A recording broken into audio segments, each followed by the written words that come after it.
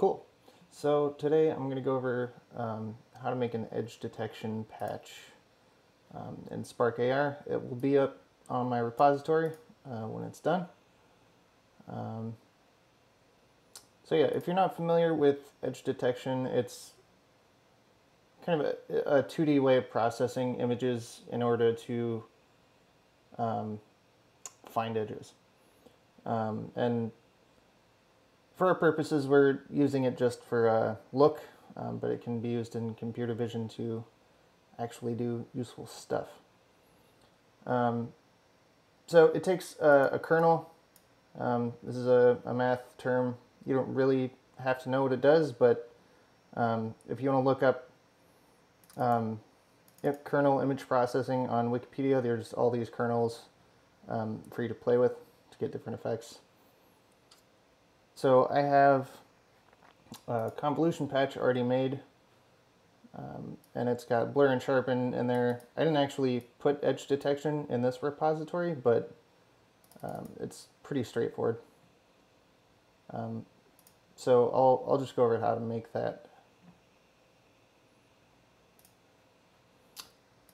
So basic 2D um, image processing setup.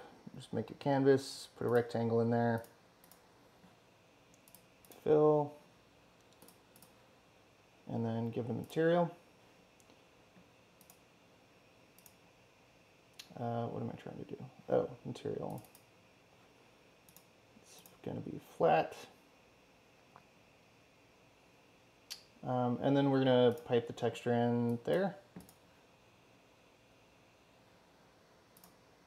This is all like standard setup for if you're doing like any kind of 2D image processing. So I've done it pretty much in, in all of the other tutorials. So just so you can see me. Um, and then I'm going to grab the convolution patch. So there's a whole bunch. There's like blur and, and sharpen and stuff. And some of them even use a fragment step just to get around some limitations of Spark. Oh yeah, okay, grab that.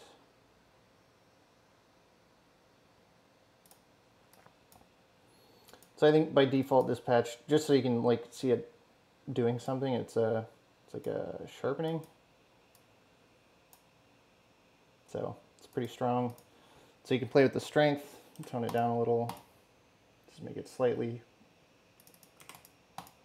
noticeable. I think I'm going to stick with two. Um, so pretty much that's that's the bulk of it. Um, and then you can copy kernel values um, into here. So I'm just going to look up one. Let's do like something super simple. So 1, negative 1, negative 1, 1. And that'll give us a pretty faint looking um, edge detection, but we can always crank the strength up to make it more noticeable.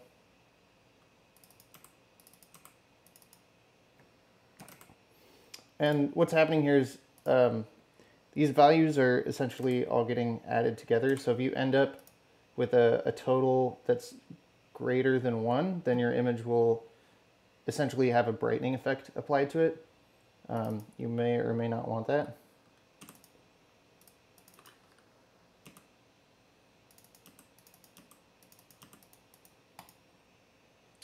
So let's turn the strength up so we can see. Okay, that didn't do anything. Um, I think there's something a little funky with the convolution patch. So you have to you have to put one on the center pixel. Yeah, some something's weird with that. Um, so you can see this is obviously affecting it. It looks like a really strong sharpening effect. It doesn't quite look like the example they gave. So to get this uh, outline thing, um, we're just going to subtract the original image from the, the output of the convolution patch, and that'll give us just the, the difference, um, meaning the edges. So to do that, subtract Now, I don't want to just subtract this and this because what happens there, you'll see, well, that was unexpected. Oh yeah, okay, so you can see the plane is like totally transparent. It's because it's subtracting the alpha value. Um, so 1 minus 1 is 0, so you get uh, 0 alpha.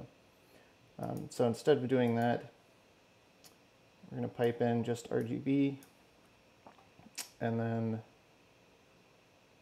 yeah, that should do it, except we need the alpha. So we're going to grab, oh yeah, we can just do a pack.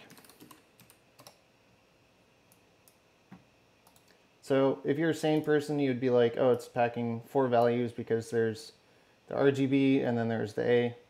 Um, but then you'd have to unpack these and it's kind of a pain. So Spark is gives you a little flexibility on on these kind of numbers. So you can just put in RGB and then A and it will uh, pack them together for you into a vector 4.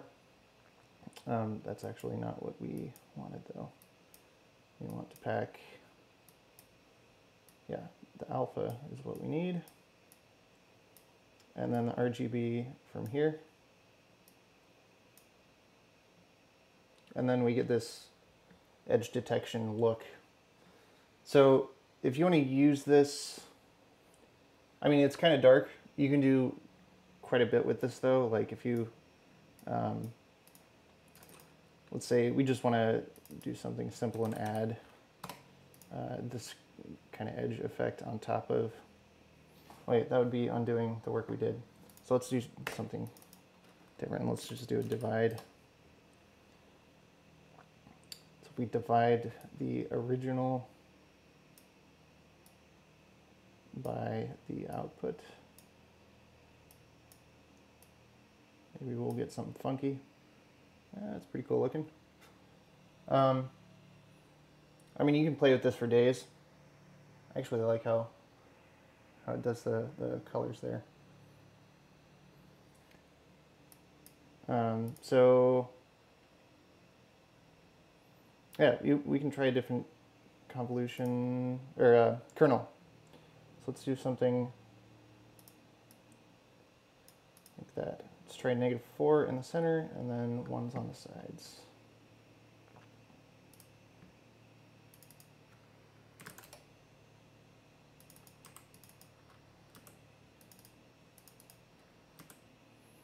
I mean, and you don't have to pull, like, you can see this is doing crazy stuff, just like kind of randomly changing numbers. Um, so you, you can just play with these and um, get some pretty cool effects going on. Um, there we go. One there, one there. So it's a similar effect. I think this one looks a little crisper. And then of course you can always play with strength. Let's crank it up to like 20. Yeah. So you get some cool stuff happening. And this is like kind of a reversed out image. Um, so if you want, um, you can, you can, what would you do? You would do like a, a one minus, so subtract, and that's a, that's how you invert an image, is just one minus the color. So there's, still looks inverted, but the effect is pretty cool. So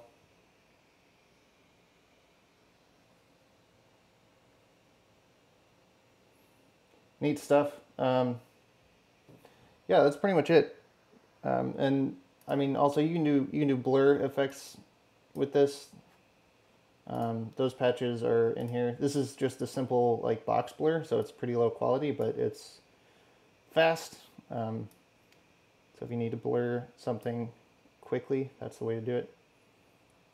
Um, yeah, that's uh, that's it. I'm going to take a screenshot of this and put it on the YouTube video. Um, so again, this is going to be up at um, Posit Labs Spark Edge Detection repository. Um, so yeah, if you want to see more, uh, click the subscribe button, and I'll see you next time.